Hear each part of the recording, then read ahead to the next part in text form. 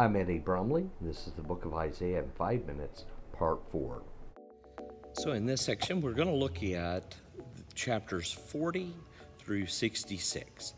In chapters 40 through 66, we explore the hope of God.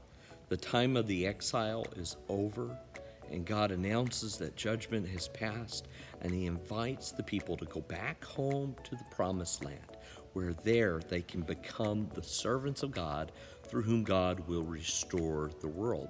That's the hope of the first part of this second section of Isaiah. But what happens instead is that the people are bitter and are filled with doubt, and they accuse God of not caring about them and perhaps not even being able to keep his promises to them. In chapters 41 through 47, God responds to the accusations of his people, and it's set almost like a trial where God answers the questions having been put on the dock by the people. And he says to them that the exile was not a failure of divine power, but was an act of God's judgment. But that even through judgment, God loves his people and promises to do redemptive work through them. He tells them that he raised the Persian Empire to defeat the Babylonians so that the people could go home to the promised land and become the servants of God by, and the instrument by which God would restore the world. He wants them to see him as the author and the sovereign over all of history, and he invites them not only to look back and believe that he kept his promises, but to look forward and trust what God promises to do with them and through them in the future. In chapter 48, we get a disappointing discovery.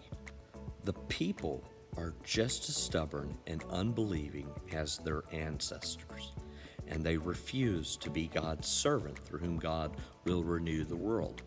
Yet the God of Israel is still committed to using his people as an instrument through which to redeem the world. So God is going to have to do something new in order to keep his intentions and in order to keep his promises to Abraham. In chapters 49 through 55, God raises up an individual that he calls the servant. He's also given the title Israel, and he is going to be willing and able to do what Israel was unwilling and unable to do. And he's going to do it for them. He's going to redeem them and restore them and restore God's plan so that the people can come back to God and so that the people can be God's instrument, a light to the nations by which the nations will come to know God.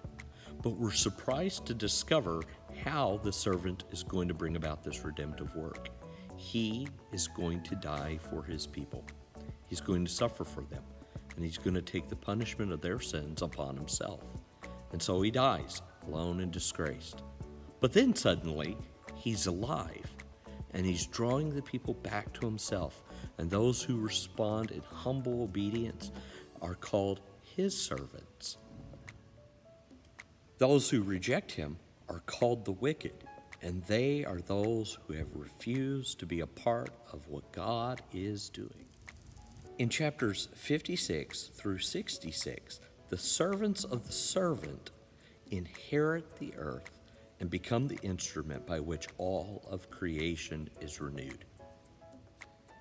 In chapter 60 through 62, the servant is anointed by the Spirit of God to announce the kingdom of God and to announce that God is about to make all things new. In chapters 59 and in 63 and 64, the people of God grieve about their past sins, asking God to forgive them and to bring about his kingdom on earth as it is in heaven. In chapters 56 through 58, the wicked refuse to repent and be a part of what God is doing.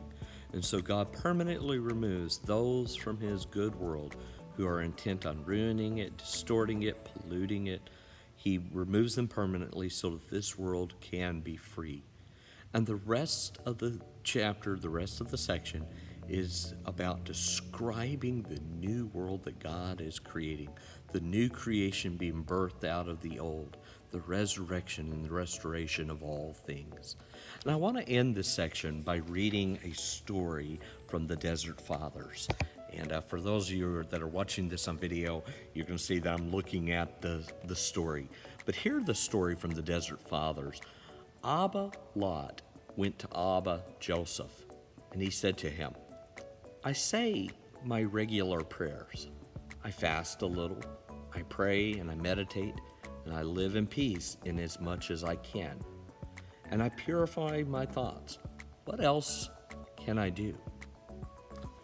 Father Joseph held up his hand, and his fingers became like burning flames of a candle wick.